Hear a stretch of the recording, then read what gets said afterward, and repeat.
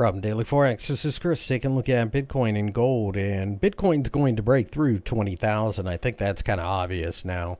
Um, probably over the weekend. To me, once we break 20, that opens up the possibility of 18, and then eventually my target at 12. We're entering crypto winter. There's just been too much fraud, and nobody trusts crypto anymore. Um, plus, there's the argument, you know, what exactly is Bitcoin? What use is it going to serve?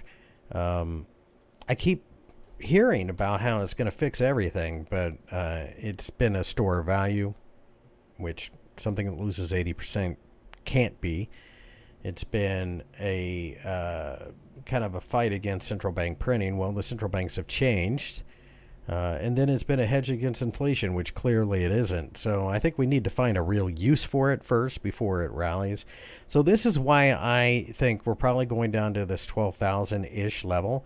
And I think hanging out there for quite some time. This area here will be tested again.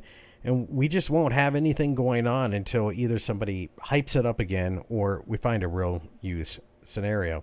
So gold uh, has pulled back from the um, 200 day EMA, and now it looks as if it could come back to test this double bottom. If it does, I think there should be plenty of buyers. Pay close attention to 1800 because $1,800 for me at least is going to be one of the more crucial areas to pay attention to as we have seen so much interest there and there's a kind of a messy uptrend line there as well so if we break there then i think we drop 50 bucks almost immediately on the other hand, if we can tick out 1880, that opens up 1920, 2000, and so on. So very interesting chart. I think buying on the dips probably works, um, but you need to do it incrementally.